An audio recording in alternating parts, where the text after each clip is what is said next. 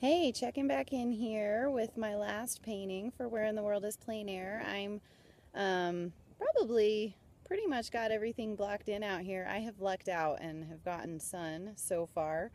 Um, and I hear thunder rumbling in the distance. So I'm going to hurry up here and try and get some details in and finish getting the light on these trees behind me. And um, hopefully I can get it wrapped up before a storm hits. But um, it's a beautiful day out here.